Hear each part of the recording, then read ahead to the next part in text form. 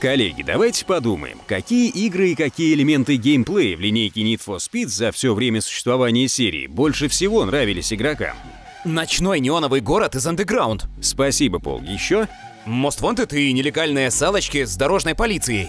Отлично, Ралли, годится. Скоростные и эффектные легальные гонки из Pro Street. Молодец, Брин, записываю. Ладно, теперь за работу. Сплавляем все воедино и ставим под заголовок «Хит». Мы не присутствовали на совещаниях Ghost Games, но, кажется, именно так и должен был проходить брейншторм их команды. В Need for Speed Hit разработчики готовят эдакое ирландское рагу сразу из всех лучших частей, но при этом почти никак не толкают серию вперед. Собственные свежие идеи есть, но их можно пересчитать по пальцам одной руки. Плюс они носят скорее косметический характер.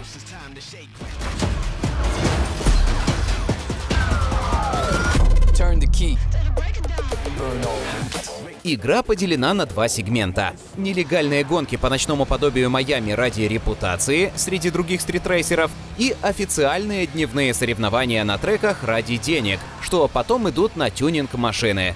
Авторы обещают динамическую смену погоды. Во время заезда может пойти дождь, и сцепление с дорогой станет заметно хуже. Но не говорят о динамической смене времени суток. Это лишний раз указывает на полное разделение двух больших геймплейных блоков. Pro Street, Underground и Most Wanted пытаются связать воедино привычным сюжетом о безбашенных гонщиках, презирающих ПДД. Скорее всего, эта история, как и раньше, окажется жутко поверхностной. Зато впервые можно выбрать одного из 12 героев-аватаров, а потом добавить ему индивидуальности в специальном редакторе. Поменять расу, прическу, штаны, обувь, прямо как в какой-нибудь The Sims 4. Кастомизированный персонаж будет время от времени появляться в кат-сценах между ключевыми заездами и безропотно закладывать запястье за спину, если его все же настигнет полиция. Возможности тюнинга тоже немного подросли, особенно по части звука и визуального стиля машины. Никто не запрещает разрисовать авто от бампера до бампера на свой вкус, придумать логотип и наклеить его на крышу, а в финале еще и настроить тембр рева выхлопа. А если по какой-то причине вам надоело сидеть перед монитором, продолжить улучшать машину можно через официальное мобильное приложение.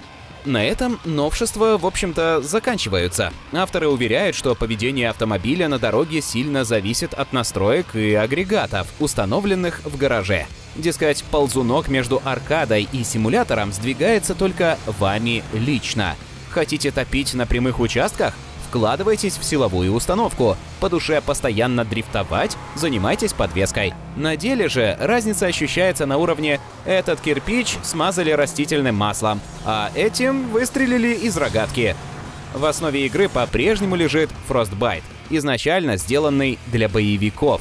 И сколько не дорабатывай движок, все равно на нем куда сподручнее размахивать световыми мечами, чем гонять по дорогам. Управляются машины странно, неправдоподобно и непрогнозируемо. Есть мнение, что пока у Хит нет своего лица, и все это мы видели раньше. Как бы вы ответили на подобную критику? Знаете, я, кажется, понимаю, почему некоторые люди могут говорить что-то такое. Но я считаю, они многое упускают, если ограничивают свой анализ лишь поиском каких-то заимствований. Наша игра делает акцент на полиции как Most Wanted, на стиле и тюнинге как Underground, на легальных гонках как Pro Street и совмещает все в цельный опыт. И таким образом этот самый опыт меняется, если сравнивать с ранними частями. Даже если отдельные компоненты могут вызвать в памяти прошлые игры, когда они вместе, меняется химия происходящего. Думаю, что понять это можно только в процессе. Кроме того, перед вами лучший мир из всех, что мы когда-либо создавали. В нем гораздо веселее гонять. Мы сдвинули стоп-зоны дальше от дороги. Вы не упретесь в тупик. Значительно улучшилось освещение, поэтому и игра в целом выглядит лучше. Можете ли вы что-нибудь рассказать о сюжетной подоплеке происходящего на экране? Да, у нас есть нарратив. Сюжетная линия с началом, кульминацией и финалом. Все как полагается. В Need for Speed всегда была история, и мы считаем это важной составляющей. Кат-сцены можно пропустить, это не проблема, но мы думаем, они понравятся игрокам. Также у нас есть то, что мы между собой называем побочными линиями, своего рода истории отдельных водителей. Однако проходить такие задания не обязательно, только если вам интересен сюжетный контент. Не подумайте, что мы ненавидим Need for Speed. Все с точностью да наоборот.